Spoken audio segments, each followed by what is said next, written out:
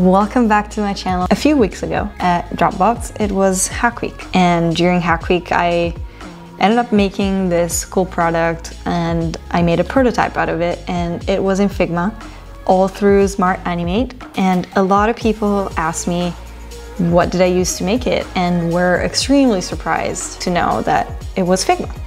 So I thought, well, that, that could make a cool YouTube tutorial. So here we are. Um, so today it's going to be part one of a two-part series on how to become a pro at Smart Animate.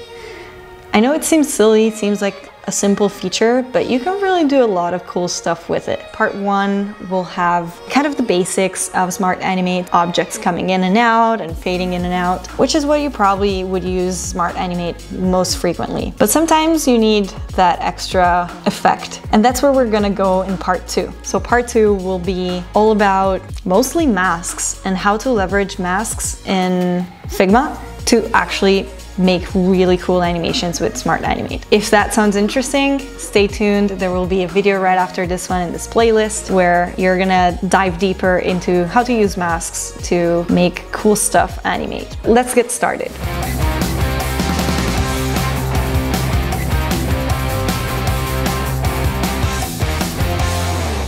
Before heading on to our screen and heading on to the tutorial, let's just have an overview of what Smart Animate even is. So when you're in Figma and you're trying to prototype something, you have various transition modes. And Smart Animate is the most recent of those. And what it basically does is it takes your initial state of an object and your final state of the same object. It makes it transition from where it is in the first frame to where it is in the second frame. And you can see how this can become interesting if the object is at zero opacity in the first frame and at 100% opacity in the second frame, the object suddenly appears. In part one, we're going to talk about change in opacity, change in size, and change in position. So with these three elements, you're gonna be able to do most of the stuff. So let's take a look and let's see how far we can go with these three things. Okay, so let's start from the finished version. So we have this frame, frame number one, and frame number two. And if we click on play, let's just see what happens um, in our prototype. So there's a nice list, three different colors in this color choosing app. we choose pale salmon, and as you see, there's a bunch of things happening at the same time here. Let's go back once. When I click um, you will see that the text realigns and goes down here, great. The square, um, the tile, let's say, expands to full screen, all right? And then you have the heart appearing from the side, right? A couple more subtle things you'll see are these lines appearing, just fading in, and the tiles, the banana and spearmint fading out. So there you go. So let's take a look at the, um, let's take a look at the file. So we're closing this up. Um, you can download this very file. You can download it. Um, I'm going to put it in the description below. You can play with it. Uh, but basically, without giving too much away, there's a bunch of hidden elements uh, down here, and we're going to try uh, to recreate it here in the tutorial. So let's check out how it's done. So we're gonna start from a just empty frame. I just put some of the elements here so that I don't spend time figuring out which font it is or whatever. So this is just, as you see, it's just basic groups. I don't even rename things. This is just a rectangle, corner radius, um, a drop shadow, and a color. That's all it is. Then you got a text, and it's all just grouped up, not even in a frame, just like this. So what we're gonna do, take this frame shaped like um, an iPhone 11, I believe. We're just gonna drag it and I'll just duplicate it by holding Option. What I wanna do is now hit Command D and duplicate it at least once, check that it's like a decent number of pixels, and then hit Command D again to duplicate again. Now let's just have some, you know, fun colors here. Um, so let's just do like this and maybe make this white so that it's not that bad. And that's our first screen. So you would imagine, okay, this is fine. This is pretty much like this version. So now just to be extremely clear and make sure that these layers don't all mess around, let's just change the name to, I don't know, what is this color? Peach? Maybe. And this will become cherry. Great. So we've got something here. What I would do instinctively is I'll just Command D on the frame, duplicate it. What do I want to have in this screen? So basically you want this element, which you're sure 100% is the same as the one you had here because you duplicated it, to become that background. But before we go into that, let's just remove some noise. We know for sure that we're not gonna need these two in our second screen. So we're just gonna delete them.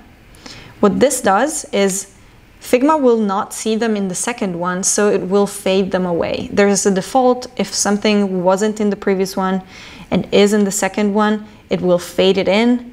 Same if there's something in the first screen and then on the second screen there's nothing, it will fade it out automatically, which is amazing. So we're left with a much cleaner screen and what we want to do is start from the background.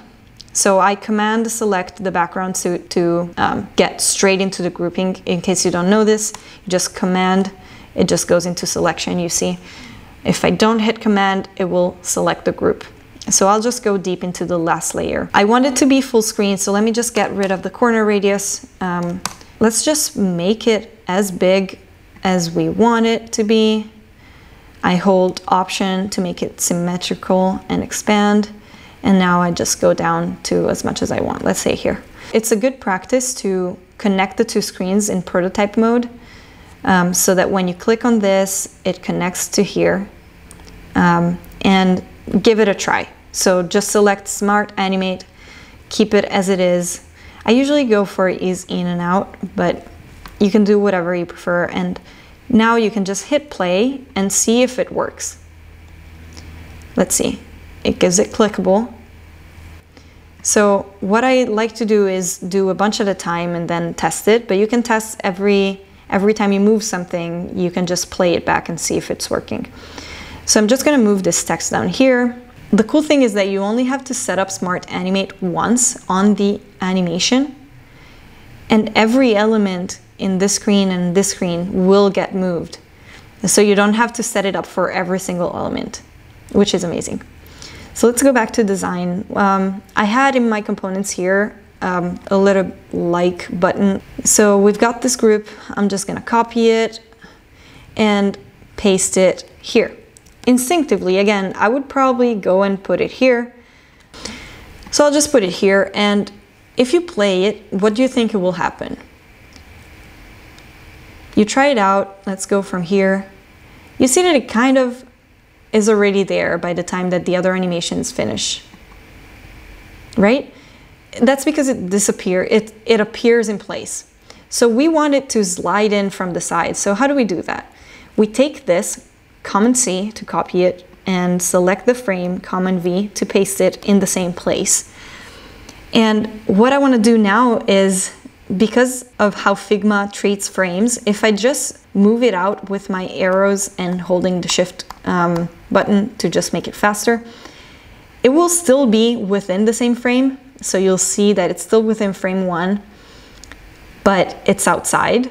And this way, when I restart this and animate this, it will move inside. Now, I don't quite like that you see the whole thing while it moves, so I'm just gonna take this and also make it 0% opacity so it fades in while it moves.